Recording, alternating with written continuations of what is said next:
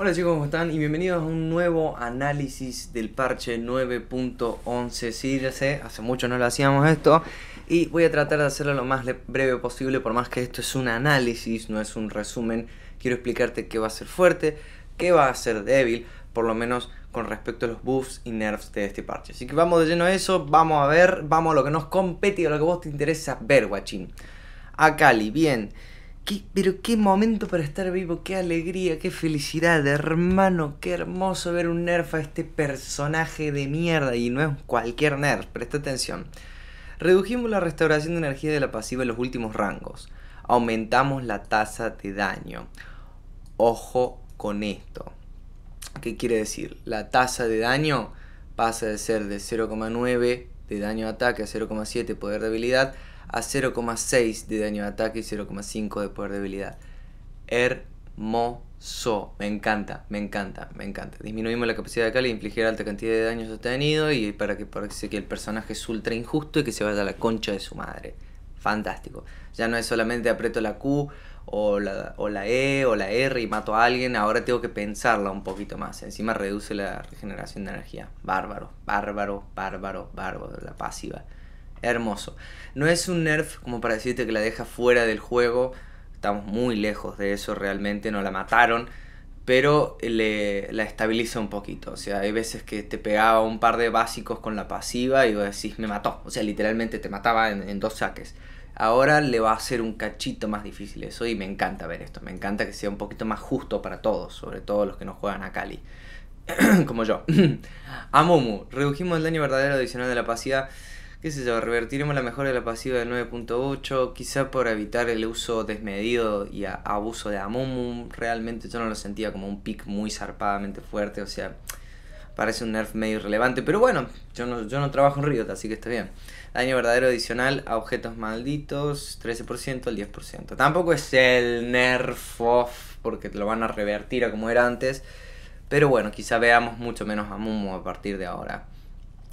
Eco. Ya esto está muy interesante, sobre todo para los main eco. Ya no hay retraso al usar ataques básicos después de la E debido a la animación. O sea, ya la animación se cancela, no tenés que esperar para autoatacar después de tirarte con la E. Eso está muy bueno.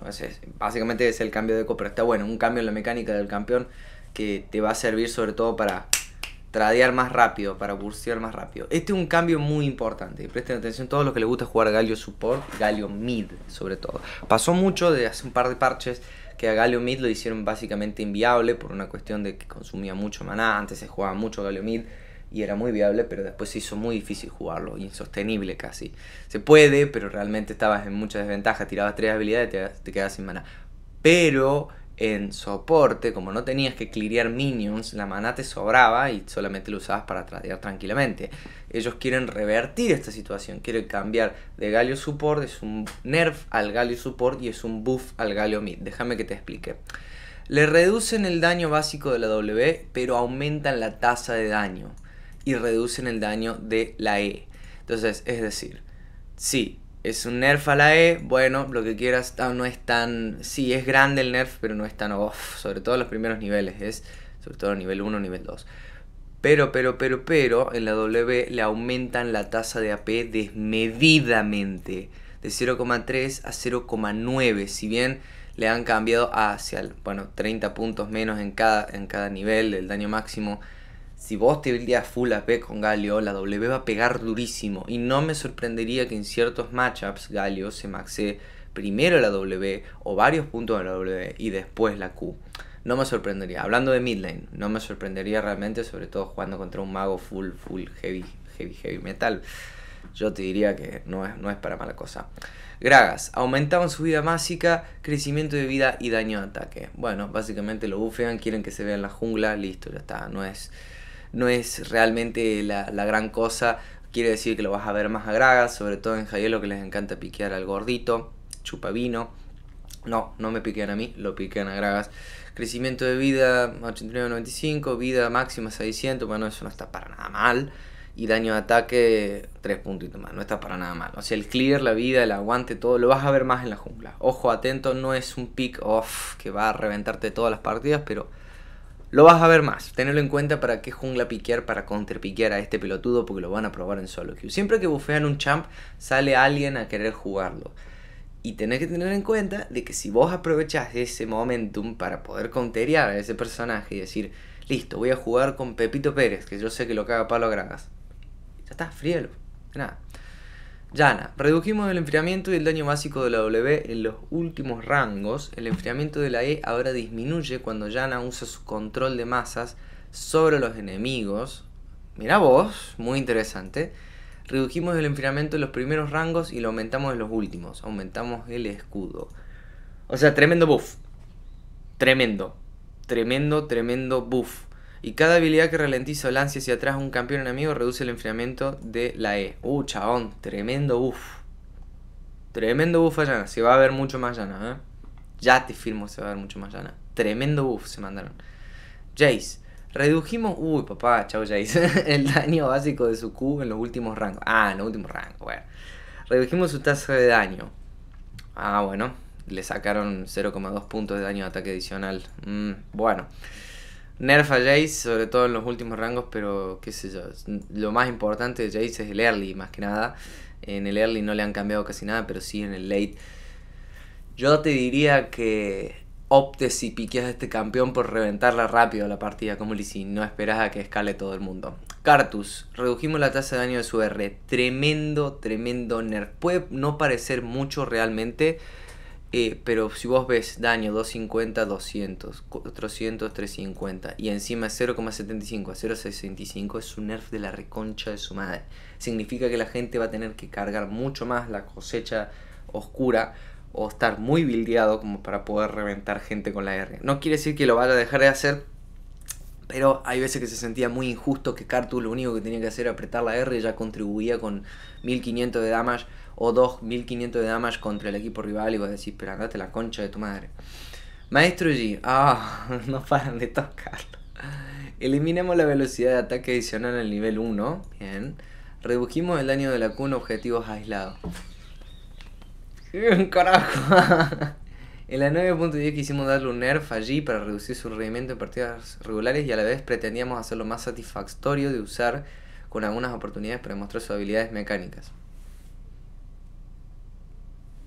Así en alfa. Eh, sin embargo, los cambios resultaron bastante neutrales, aun cuando parecía que deberían tener más impacto debido a los cambios de espada furia conquistador, es porque disminuimos la velocidad. Es por esto que disminuiremos su velocidad de ataque temprana y parte del daño. Qué hermoso, qué hermoso. Qué lindo, boludo. Qué, qué, placer, qué buen momento para estar vivo, chabón. Qué lindo, soy feliz. De esta manera su velocidad se despeje, de despeje será mejor, pero seguirá teniendo los beneficios de su Q. Sí, sí, sí. Bárbaro, hermoso, divino. Sí, sí, sí. No ningún Master G te la creo, boludo. Velocidad te que ya está. 15 años adicional. Ah, qué lindo, boludo. Qué lindo, qué lindo. En vez de 25 por cada golpe, 15 nomás, 15%. Qué lindo, qué lindo, qué lindo, qué lindo, Nerf. Tomá Master G, la concha de tu madre. Se acabó eso del OTP a Challenger Master G, eh. A todos ustedes les estoy hablando. Ustedes saben quiénes son. Lo peor que tengo amigos que hacen eso.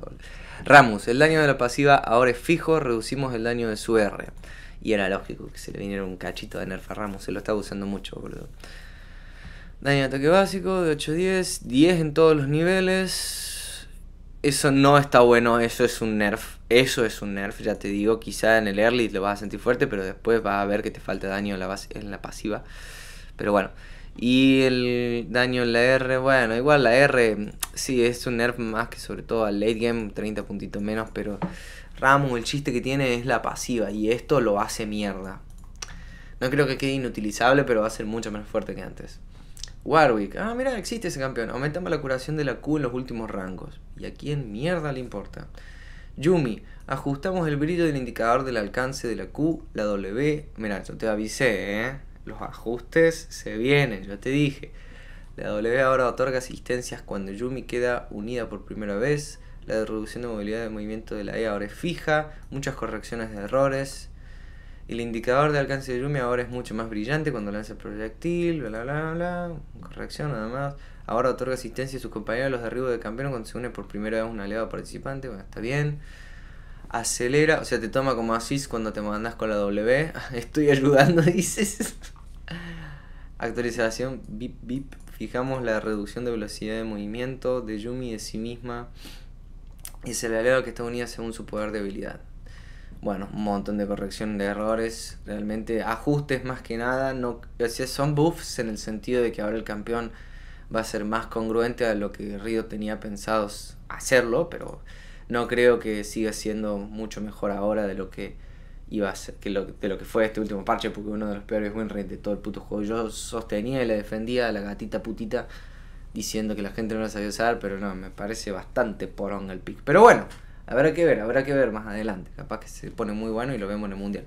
Sac, redujimos la ralentización de la Q, aumentamos el enfriamiento de los últimos rangos, el daño de la vida máxima de la W ahora aumenta con el poder de habilidad. El daño de la vida máxima de la W ahora aumenta con el poder de habilidad. Ahora el regreso de Sac Full AP, revertimos la R al estado anterior en el que estaba la versión 7.9. Y yo qué mierda me acuerdo, a ver. Después de evaluar los comentarios jugadores, finalmente decidimos, nos excedimos un poco cuando redujimos su daño al intentar convertirlo en un tanque con mayor control de masa. Ralentización menor, enfriamiento menor de la Q, bueno, es un buff, o sea, te sacan un cacho de slow para obtener menos CD, no está mal, yo lo acepto. La W materia inestable, 2% de la vida máxima del objetivo por cada 100 poder de habilidad. Se vuelve el SAT, vuelve el sac full AP, guachi. vuelve el sac full AP, se acabó el sac tanque. Eliminado ya no se aplasta, Jack. Zack ya no se aplasta a sí mismo mientras carga durante 2,5 segundos. Ojo con esto, eh. Lo que lo hacía imparable y ralentizaba a los enemigos encima de él. Ojo con esto, eh. Han cambiado la mecánica de la R, evidentemente. La orden no es para llevar, Zack ya no lanza a los enemigos hacia atrás y les inflige daño mágico. Salta rápidamente su R y ya no recoge a los enemigos, lo cual les inflige daño. ¿Y ahora cómo funciona entonces? Ah, lo han modificado, ahora Zack vuelve a rebotar.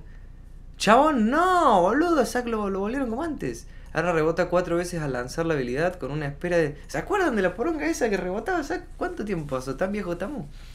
Cada rebote inflige ta ta ta ta. Ya lo veo a Zack Top de nuevo, boludo, o en mid bizarreándole a Faker con full AP. Uh, chabón, qué buen cambio. Buen cambio para los main Zack. O sea, cagate si te pusiste prender la nueva la mecánica Tanto tiempo ya la tenía re clara, boludo, ahora te lo volvieron a modificar. Zack se puede mover durante rebotemos y obtiene velocidad de movimiento mental. O sea, zarpado, zarpado. Habría que ver, estoy muy emocionado con eso, habría que ver realmente cómo le va a Zack, pero pinta, pinta copado. A ver, en todas las escuela los jugadores retadores van a ver una animación especial de retirada dentro del juego. La escuela crecedora, los jugadores retadores solo verán una animación especial. Y aquí mierda me importa si el 99,9% no es retador en el server. Un agradecimiento especial a todo lo que compraron el icono y corremos, me chupo un huevo, correcciones de errores, próximos aspectos y tu vieja ICP y tu vieja NPC. Si te gustó el análisis, te invito a que le dejes un buen me gusta, guachín. Sí, este e, ese es un pulgar, aunque usted no lo crea, y ahí tenés los nudillos. Dejale el me gusta, no, no sé dibujar. Dejale el me gusta, compartirlo con tus amigos y nos vemos en Disney.